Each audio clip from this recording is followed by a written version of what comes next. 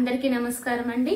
Welcome back to my channel ఈరోజు అయితే నేను చాలా super recipe చూపించబోతున్నానండి. Healthy and tasty recipe as usual ఇంకొక విషయం ఏంటంటే ఇది కూడా టూ మినిట్స్లో రెడీ చేసుకునే రెసిపీని అనమాట అదేంటంటే వెజిటేబుల్ సలాడ్ ఈ వెజిటేబుల్ సలాడ్ అనేది వచ్చి మీరు కొద్దిగా తీసుకున్నా కూడా హెవీగా ఫుల్గా ఉంటుంది. దీంట్లో ఇంగ్రీడియంట్స్ కూడా ఏమి ఉండవండి మనకి ఇంట్లో అవైలబుల్గా ఉండే వెజిటేబుల్స్ మీరు దీంట్లో యూస్ చేసుకోవచ్చు. వెయిట్ లాస్ అవ్వాలనుకునే వాళ్ళకి డైటింగ్ చేస్తున్నాం మేము అనుకునే వాళ్ళకి ఇది ఒక సూపర్ ఎమ్మి రెసిపీ అనే చెప్పచ్చు అనమాట చాలా టేస్టీగా ఉంటుంది.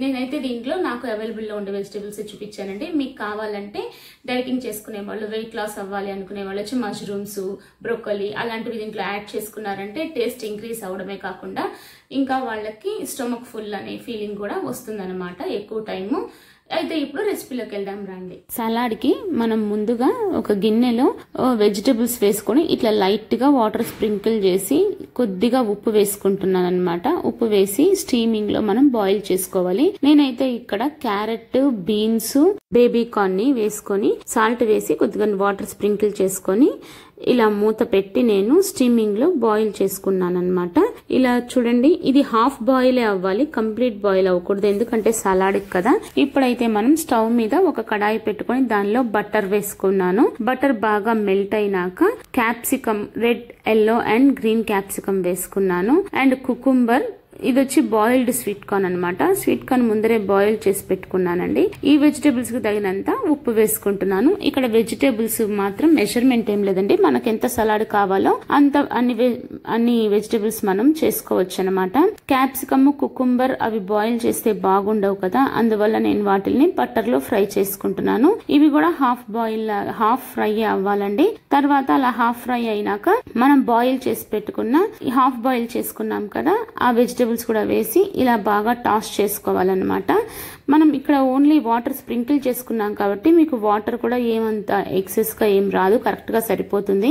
ఇప్పుడైతే అన్ని ఒకసారి బాగా టాస్ చేసుకొని నేను స్పైసీనెస్కి ఎంత కావాలో అంత పెప్పర్ స్ప్రింకిల్ చేసుకున్నాను. తర్వాత ఆరిగానో స్ప్రింకిల్ చేసుకున్నాను అనమాట అలా స్ప్రింకిల్ చేసుకున్నాక మొత్తాన్ని ఒకసారి ఇలా టాస్ చేసేసి మనం సర్వింగ్ బౌల్లో సర్వ్ చేసుకోవడమే.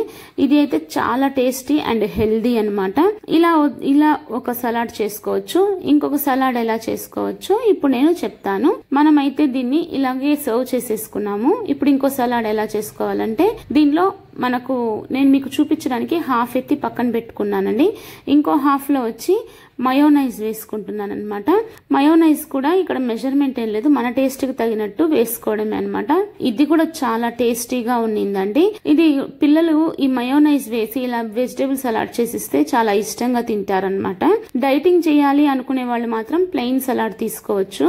ఇలాగా పిల్లలు తినడానికి పిల్లలు సలాడ్ తినరు వెజిటేబుల్స్ తినరు అనుకున్నప్పుడు ఇలాగ మనం మయోనైజ్ వేసి చేసుకోవచ్చు అనమాట ఇలా టూ టైప్స్ సలాడ్ చేసుకొని మీరు కూడా ఎంజాయ్ చేయండి.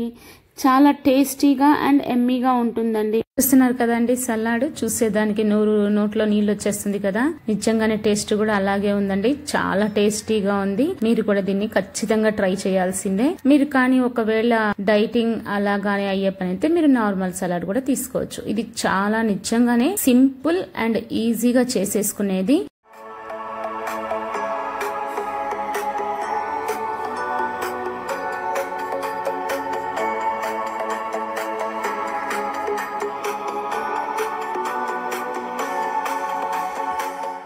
చూసారు కదా ఫ్రెండ్స్ రెసిపీ? మీకైతే బాగా నచ్చింది అనుకుంటున్నాను నేను ఈ రెసిపీ.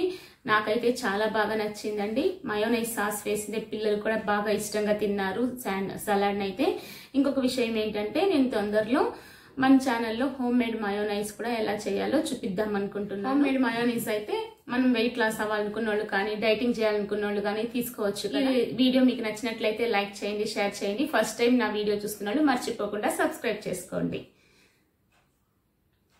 రేపటి ఇంకో రెసిపీతో మళ్ళీ కలుద్దాం. బాయ్